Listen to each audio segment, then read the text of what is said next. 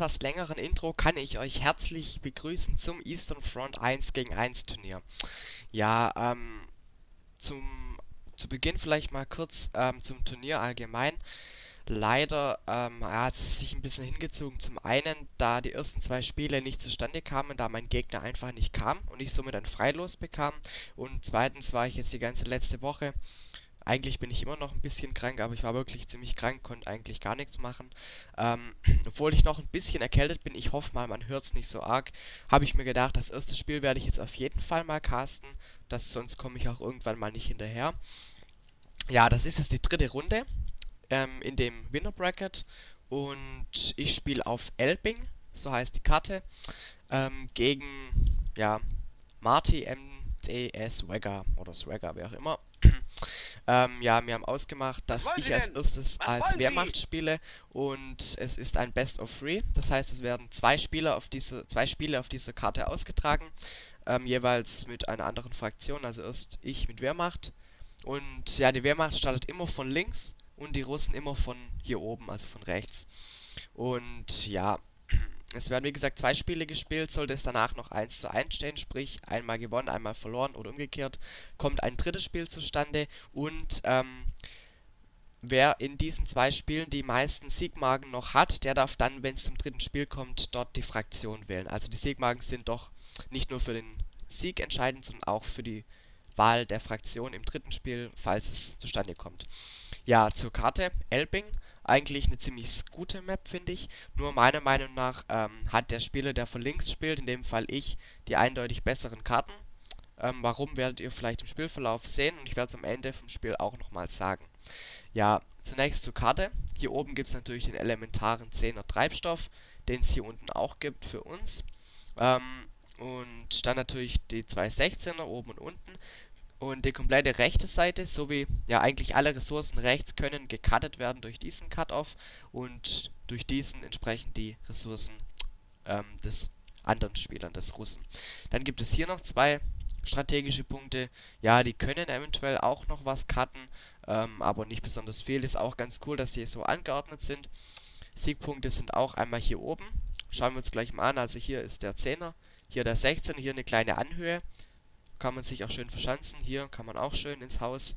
Und hier ist dafür ein schöner Friedhof, auch mit einem kleinen Haus. Und natürlich hier rechts unten sieht es auch super aus. Ähm, Gibt es auch viele Häuser hier. Und interessant finde ich auch den Siegpunkt hier. Wir sehen hier gibt es eigentlich nur grüne Deckung. Und ja, da ist auch noch ganz nett gemacht. Karte eigentlich ziemlich cool. Nur ich finde, ähm, der Spieler von links, also ich habe einen kleinen Vorteil. Ja, kurz zur Strategie. Jawohl, wird gemacht. Ich habe eigentlich ganz normal vor. Ich habe diese Karte, muss ich sagen, davor, also vor dem Turnier, fünf Minuten gegen die KE eingespielt, dass ich weiß, auf was ich mich da einlasse. Also hab, kennt die im Prinzip auch nicht besonders gut. Ähm, hab mir aber schon gedacht, dass ich natürlich erstmal den hier sicher und danach den Zehner und mit dem zweiten Pio dann den, ähm, das entsprechende T1 baue. Ja, der Russe hat natürlich standardmäßig keine Infanterie am Anfang. Muss erstmal, ähm, ja, Infanterie bauen. Und ja, hier wird natürlich jetzt dann das entsprechende T1 gebaut von meinem zweiten Pio. Und auch das T1 des Russen wird gebaut. Man muss sagen, der Russe baut das T1 ein bisschen schneller. Und ja, das macht natürlich den Nachteil wett, dass er am Anfang keine Pioniere oder Ingenieure zur Verfügung hat. Ja, wir sehen auch, ist bei ihm ist schon fast fertig. Ja, hier schreibe ich auch, dass ich das erst einmal gespielt habe. Und er ist jetzt fertig. Ja, ich brauche noch ein kleines bisschen. Hab dafür schon gecapped, das ist natürlich auch ein Vorteil. Und sichere mir jetzt gleich hier den Zehner. Ja, und er spielt dieses allerdings auch zum ersten Mal, diese Karte, und damit ist es ausgeglichen. Als erste Einheit ein Volksgrenadier, denke ich mal ganz standardmäßig. Man kann gegen die Russen auch eine MG spielen. Allgemein sind MGs meiner Meinung nach gegen die Russen am besten, vor allem am Anfang. Ähm, und ja, diese Karte eignet sich ja auch relativ gut für MGs. Also wir sehen hier, hier kann jeder rausschießen, hier kann man rausschießen, hier und hier, also aus jedem Fenster kann das MG rausschießen. Muss natürlich immer aufpassen, dass nicht flankiert wird. Ja, meine Volks sind schon da. Bei ihm sind dafür auch schon die Rekruten da und bei den Russen kommt dafür die Infanterie ziemlich schnell. Und das tut natürlich das ausgleichen, dass die dafür ziemlich schwach sind. Und dass am Anfang auch nur die Rekruten bauen kann, beziehungsweise den Kommandantentrupp kann er auch bauen. Kostet aber 350 Manpower, also das ist halt ziemlich viel. Ja, ähm, ich habe jetzt den Szene schon gecappt und kann auch mit meinem Volks ja. direkt schon angreifen. Als zweite Einheit kommt natürlich ein MG, was auch sonst. Und ja, die Punkte an der Basis, die lasse ich jetzt mal vollkommen außen vor. Gehe hier gleich offensiv vor. Und ja, seine Rekruten stehen jetzt hier ein bisschen rum. Werden jetzt wahrscheinlich hier cappen, genau. Und ich setze mich jetzt hier ins Haus. Die zweiten Rekruten kommen auch angelaufen und damit habe ich natürlich den Kampf schon von vorne gewonnen. Und ja, das MG kommt natürlich jetzt auch an die Front gelaufen. Wir sehen die Rekruten, die sind einfach wirklich, die fallen um die Streichhölzer. Das ist wirklich so, ah, hier übrigens ein kleiner Bug. Das Gewehr raus. Dann zieht es sich auch glatt zurück. Hier verliere ich vielleicht noch ein Pio. Ja, da habe ich jetzt noch ein Pio verloren. Ja, ich sag mal, nicht weiter schlimm. Aber man sollte immer versuchen, das zu vermeiden. Denn die Pios sind ja vor allem für die Wehrmacht später dann auch noch relativ wichtig. Und vor allem sterben die halt ziemlich schnell. Ja, campingtechnisch her sieht es für ihn ein bisschen besser aus. Ich habe dafür das MG und kann die Mitte hier schön sichern. Ja, hier kann ich natürlich ihn gleich mal mit dem MG zu Boden zwingen.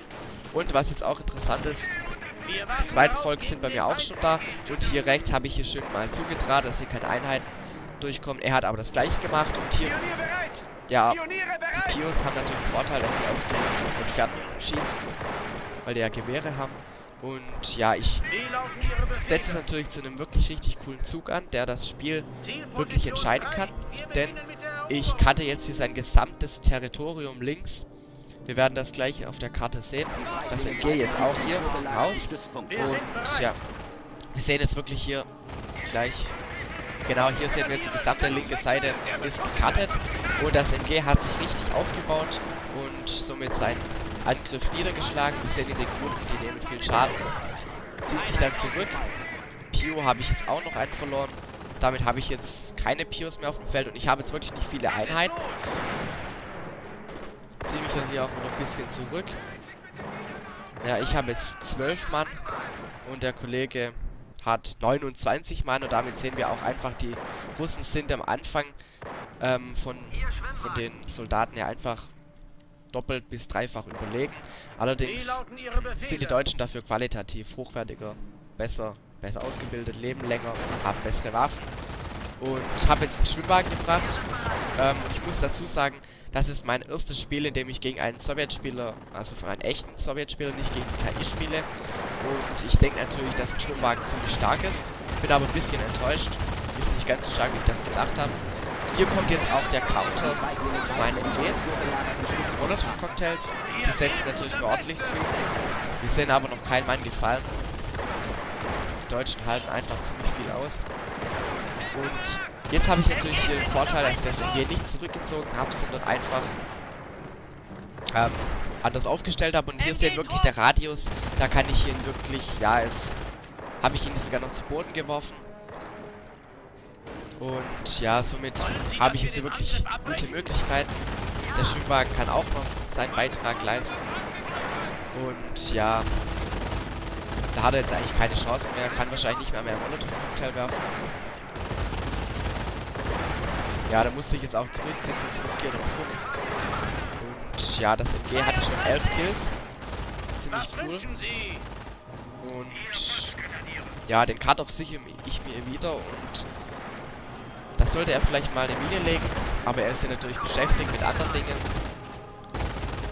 Muss hier seine ganzen Einheiten wieder refreshen, also ich kann ihm hier ordentlich, ähm, ich kann ihn hier sozusagen ein bisschen binden, denn er kann jetzt nicht großartig ähm, andere Einheiten bauen. Das T2 steht zwar bei ihm, und da dürften dann auch bald diese Strelkis kommen, sobald das Upgrade kommen ist. Ja, ich habe mir jetzt einen dritten Volks geleistet und MP40. MP40 sind gegen die Russen so ziemlich das Beste, was am Anfang geht. Und wir werden auch gleich mal sehen, wie stark ähm, ein MP40-Volks ist. Merken wir uns an dieser Stelle mal 6 Kills für den einen MP40-Volks. Und dann können wir das mal vergleichen. Ja, ich sehe hier natürlich durch meinen Schwimmwagen schön, dass er hier seine Armee aufteilt, dass er hier angreift. Und ja, jetzt muss ich natürlich auch auf meinen Schwimmwagen aufpassen, denn der passiert natürlich trotzdem ordentlich. Und ja, ich ziehe mich natürlich schön zurück und kann jetzt auch mit meiner Armee angreifen. Hier steht auch noch ein Volks, der zurückziehen muss. Und jetzt sehen wir auch hier extrem schön, wie die MP40 hier Schaden machen. Ja, hier natürlich ist noch ein Molotov-Cocktail. Und auf den Schubwagen muss ich aufpassen. Er setzt ja auch noch zur Offensive. Und ja, da zieht es sich aber gleich zurück, denn er kassiert auch noch ein bisschen hier, wie viel Erfahrungspunkte das gibt. Und 12 Kills schon für den MP40-Volks. Und ja, das G lebt natürlich auch nicht mehr lang. T3 ähm, Tag habe ich jetzt fertiggestellt. Denn ich bekomme ja genug Treibstoff. Der 10 reicht im Prinzip vollkommen. Und ja, er muss natürlich seine ganze Armee immer wieder refreshen. Und ja, hier wird eine Mine gelegt. Ich weiß nicht, ob ich das überhaupt sehe. Lauf zum Glück nicht rein. Und ja, das MG schießt jetzt auch noch. Und das war's dann für den diese Stelle. Ja, hier kommt jetzt die Offensive mit den eingeschlagenen Truppen. Kann ich mich schön zurückziehen. Das MG werde ich vermutlich jetzt zurückziehen. Genau. Und es kommt noch ein Volks. Okay. Und hier muss ich natürlich meine 40 Volks, sobald der Auftrag abgeschlossen ist. Ja, hier kann ich natürlich jetzt auch noch... Ah, perfekt, noch ein und 19 Kills schon. Ja, jetzt sehe ich mich auch gleich zurück, dass ich nicht so viel Schaden bekomme. Und ja, ich kann hier mit dem T1 bisher ganz gut spielen. Ähm, es sind auch noch keine Strelkis auf dem Feld, dafür ein Sniper. Ein Scharfschütze, wenn er richtig eingesetzt wird, gegen die Deutschen sehr stark, da die Deutschen generell nicht so viele Truppen haben, nicht so viele Männer, also 5, 4 und Pioniere sogar nur 2 Mann. Ja, jetzt muss ich natürlich auf meinen MP40-Volks aufpassen, aber der hält einfach viel aus und der kommt auch noch raus, kann jetzt hier mit meinen anderen Truppen angreifen. Und ja, bin ihm trotz Nahkampf auch überlegen. Ja, jetzt schlafe ich hier ein bisschen und refresh meine Einheiten nicht. Dafür mein Schwimmwagen wieder repariert. Und da zieht es sich auch wieder komplett zurück. Ich habe das Territorium immer noch gecuttet. Und ja, sieht eigentlich alles ziemlich gut aus. Und da kann ich dann auch hier ein bisschen cappen. Habe jetzt allerdings ein Pio nachgebaut und baue das T3. Und ich bin natürlich der Meinung, dass ein Puma wirklich richtig stark gegen die Sowjets ist. Ich habe das noch nie in Puma gegen Sowjets gespielt, aber ich kann mir einfach denken, dass er richtig stark ist. Ja, hier sichere ich mir natürlich jetzt den... Ah, ne. Genau, hier gehe ich jetzt da hoch. Da ich mit den Volks auf Entfernung besser bin, habe ich hier einen klaren Vorteil. Außerdem sehe ich auch, ähm, wenn hier was aus der Basis rauskommt. Ja, das ist dann doch ziemlich stark. Hier kommt jetzt der Gegenangriff und wir sehen auch ein Strelke ist auf dem Feld und natürlich der Scharfschütze, der aber schon ein bisschen was kassiert hat. Obwohl er noch keinen Kill hat. Ja, hier verliert er vielleicht sogar noch einen Rekrut. Und ja, da kommt dann auch meine Verstärkung an die Front. Ich lasse jetzt hier in der Deckung meine Volks noch ein bisschen einfach ein bisschen Schaden machen lassen. Jetzt müsste ich mich dann zurückziehen. Ein Mann, da muss ich... Ja, da kommt der Retreat, perfekt. Und das MG kommt zur richtigen Zeit. Hier oben muss ich mich auch zurückziehen. Werde ich aber gleich machen.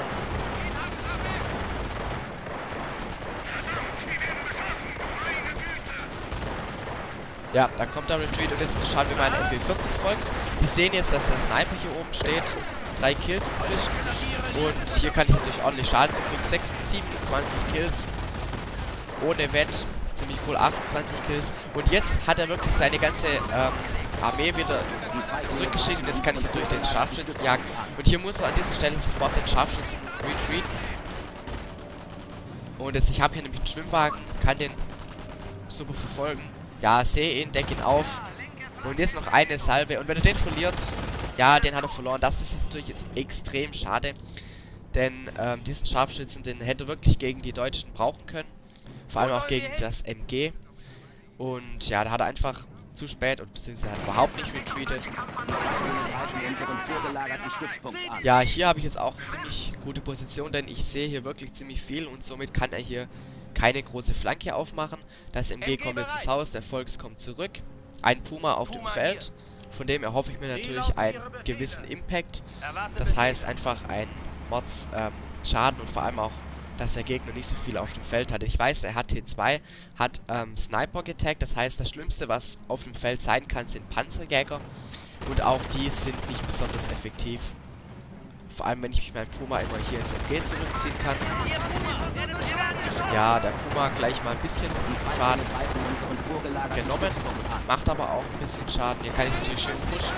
Hier oben konnte ich jetzt auch noch eine Salve abfeuern, ziehe mich dann zurück. Ja, natürlich habe ich jetzt meine Infanterie wieder an der Front. Und ja, auch die Brandgranate, Molotov-Cocktail zieht mir einiges Leben. Und jetzt fahre ich natürlich in die Base. Ich hoffe, hier eine Einheit finishen zu können. Und ja, hier bin ich jetzt wirklich enttäuscht von Puma. Das kann man gar nicht anders sagen. Denn der nimmt mir einfach viel zu viel Schaden von Infanterie. Die haben keine Panzerabwehrwaffen. Und ja, das ist natürlich nicht so gut. Bisschen leiser noch Tick. Da hätte ich mir eigentlich eine stärkere Panzerung erwartet. Hätte ich ja gedacht, weil es war nur Infanterie, kein MG. Natürlich die Masseninfanterie, klar. Aber trotz allem komme ich noch raus. KKZ ist jetzt da, da wird dann auch bald Welt 1 für die Infanterie kommen. Und ja, 30 Kills jetzt. Das ist einfach extrem stark. Ja, jetzt zieht er hier eine Flanke auf. Ähm, versucht natürlich meine Volks hier zurückzudrängen. Die Mine habe ich inzwischen auch mitgenommen. Da lag gerade ein toter Volks. Und den Kardov kann ich trotzdem sichern. Das sind einfach wertvolle, ähm, ja, Sekunden und teilweise auch Minuten, wo der Gegner keinen Treibstoff bekommt. Und ja, wir sehen, er hat 267, hat dafür auch noch kein Gebäude stehen, was nach Panzern aussieht. Ich habe schon T3 und ja, Wert 1 für Infanterie ist auch auf dem Weg. Und damit habe ich natürlich einen riesen Vorteil. Hier muss ich mich jetzt natürlich zurückziehen. Gleich kriegt auch noch der Rekrut Wett. Aber ich komme natürlich raus. Kann hier auch noch einen Entlastungsangriff starten mit meinem anderen Volks. Und ja, das MG fehlt mir natürlich jetzt an der Front. Wett 1 kommt ein bisschen ungelegen, aber besser spät als nie. Und der Puma, der muss natürlich lang oder... Ja, da kommen auch schon die Pios. Und auch auf der Distanz kann ich ordentlich Schaden machen. 9 Kills, schlechter als erwartet, aber 9 Kills sind auch... Ja, sind auch 9 Kills. ja, ich habe jetzt natürlich 4 Volks. Und ein Puma, ein Schwimmwagen ist nicht besonders viel. Ich kann die Russen aber wirklich in ihrem Gebiet halten, kann sie binden. Sie kommen nicht wirklich ähm, aus der Basis heraus. Und das ist eigentlich genau das, was ich brauche. Denn ich kann jetzt auch warten, bis ich mir nochmal einen Stuck leisten kann. Oder ich könnte auch einen Nebelwerfer bringen. Wäre alles nicht verkehrt. Ja, jetzt sieht es sicher, dass sich langsam mal die Siegmarken. Und beim Puma kann ich natürlich, der repariert wurde, wieder an die Front fahren. Auch seinen ähm, Kommandantentrupp ein bisschen aufmischen. Jetzt sind zwar die Panzerjäger da. Und die machen zwar wirklich nicht viel Schaden. Auf Dauer natürlich schon, aber die sterben einfach auch ziemlich schnell. Und ja.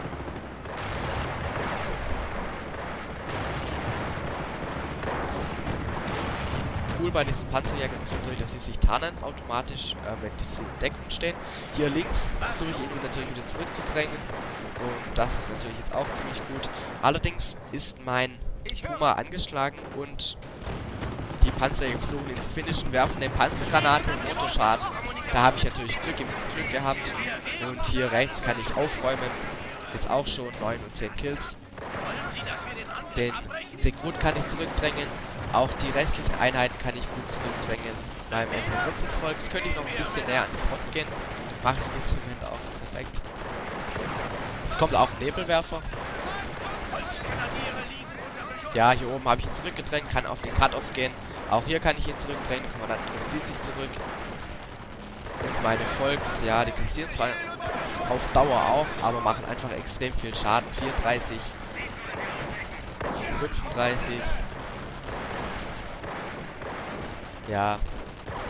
36 Kills, extrem cool. Und ich habe hier oben auch noch meine Volks, die ich auch an die Front ziehen kann. Puma auch bald wieder repariert. Und ja, jetzt ist sogar noch Nebelwerfer auf dem Feld. Da kann ich locker von hier aus die Base ähm, Wir Sektor. Wir warten darauf. Ja, und natürlich hier muss er aufpassen. Mein Puma kommt Puma steht unter Beschuss. und diese Einheit könnte er verlieren. Und da zieht es sich gerade noch rechtzeitig zurück. Ja, jetzt kommt natürlich wieder so ein Base-Angriff von mir.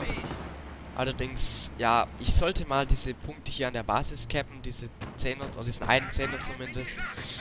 Ähm, dann könnte ich auch mal einen Feuersturm holen. Und das ist natürlich jetzt extrem bitter hier die Mine, aber sehr gut von ihm. Die hat er wirklich schön gelegt. Und da hole ich jetzt meine Volks zu Hilfe, um ihn da ein bisschen ja, aufzuhalten nicht unbedingt meinen Puma zu verlieren. Der wird aber draufgehen, denn er hat Panzerjäger. Ein Schuss von denen und das war's dann. Hauptgeschütz zerstört, Motorschaden. Dann kommt alles auf einmal. Und da kommt dafür ein Feuersturm, aber er, er ähm, reagierte wirklich ziemlich gut und ja, der Feuersturm, der hat vielleicht noch drei Mann getötet, vier, fünf, sechs Mann, aber auch nicht mehr. Das hat jetzt nicht besonders viel gebracht. Hab dafür noch Puma verloren. Im Gegenzug ist dafür jetzt ein Stuck auf dem Feld und auch der Nebelwerfer. Und von den Ressourcen her sieht es eigentlich für mich klar. Bin ich klar im Vorteil, kann jetzt auch noch die Siegpunkte sichern.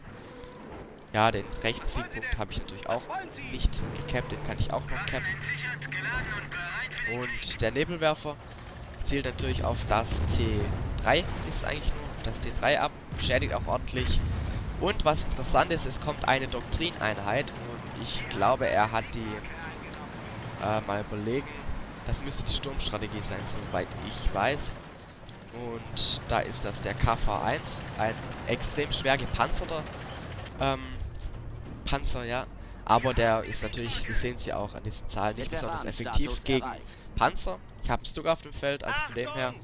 Aber gegen Infanterie nicht besonders schlecht. Jetzt habe ich hier zwei MP40 ausgegeben und will hier eigentlich nur noch eine Faust reinfeuern. Ja, den Kommandantentrupp kann ich mir natürlich auch noch holen. Auch wenn er sich hier gleich zurückzieht. Und ja, eine Faust könnte ich jetzt noch in die Seite reinfeuern und dann beim Stuck angreifen, der jetzt auch zur Front gefahren kommt. Und ja, die Panzerfaust kommt in diesem Moment. Wir sehen es, macht nicht besonders viel. Im Gegenzug ähm, kann der auch wirklich den Panzer nicht viel ausrichten. Mein Stuck viel stärker. Und ich warte jetzt wahrscheinlich auch noch auf den zweiten Stuck. Und die Infanterie, die jetzt kommt, die kann ich auch locker auseinandernehmen. Ich habe hier wirklich die Infanterie-Überlegenheit. Und ja, er kann hier vielleicht noch ein, zwei... Ja, eine Granate kann er werfen, dann noch ein Molotov-Cocktail. Und ja, auf Dauer muss ich natürlich auch auf zum Feuer raus, was ich in diesem Moment mache. Dafür kommt der zweite Stuck, beziehungsweise ist auf dem Weg. Gerade noch so Glück mit diesem ein Volksgrenadier. Kann mein Stuck hier aber schön zurückziehen. Hab hier auch noch Infanterie. Und ja. Mein MG habe ich glaube ich verloren irgendwo. Ist natürlich schade. Aber ich habe trotz allem noch genug Achtung! Einheiten auf dem Feld. Und ja, das T3 steht auch nicht mal lang, das sollte er mal reparieren. Eine Nebenwerfersalve und das war's dann. Er hat jetzt hier auch keine Pioniere, um sein KV-1 zu reparieren. Ich scout hier einfach mal. Kann vielleicht sogar noch den... Ah, da hat er gerade noch so Glück gehabt, danach aber Unglück. Denn den verliert er, genau. Da kann ich sogar noch eine Faust reinsetzen. Und ja, aufpassen muss man natürlich trotzdem. Denn der macht gegen Infanterie wirklich guten Schaden. Kann dafür jetzt meinen zweiten Stuck übrigens auch jetzt mit Wett 1 versehen. Ähm, auch an die Front holen. Und ja. Ist natürlich gefährlich, da ich so nah beieinander stehe. Hab nochmal Glück, muss mich auf Dauer auch zurückziehen. Ja, natürlich habe ich Glück, dass der Panzer hier daneben schießt. Kann jetzt dafür mit meinen zwei Panzern angreifen. Der eine wird noch repariert. Kann ich aber auch gleich an die Front bewegen. Und da kann ich natürlich schön noch einen Schuss reinsetzen. Genau, perfekt. Und dann kommt der andere auch gleich von der Seite. Und mit dem kann ich ihm dann hier sozusagen den Rückzugsweg abschneiden. Und wenn er dann zurückfährt, kriegt er noch einen in die Seite rein. Und dann auch noch meine Volksgrenadiere, mit denen ich die Infanterie zurückdränge. Hier, wie gesagt, jetzt das kleine Manöver. Kann ich sogar noch die reparierenden Pius zurückschlagen. Und jetzt muss ich mich natürlich auf den Panzer konzentrieren. Sehen hier, ich mache ordentlich Schaden. 38 Kills bisher und der geht natürlich drauf. Der muss drauf gehen. Auch wenn hier jetzt der Gegenangriff kommt, gegen meine Pioniere mit dem Kommandanten, der hier auch Wert 1 kriegt. Den Panzer habe ich zerstört. Und an dieser Stelle kommt dann auch das GG. Und ja, das war's natürlich. Keine Frage. Er hat jetzt auch nichts mehr. Und er schreibt, dass er verloren hat, als er seinen Sniper ähm, verloren hat. Und irgendwie hat er da mit seinem Bruder geredet. Ja, an dieser Stelle ist er rausgegangen und das Replay ist beendet.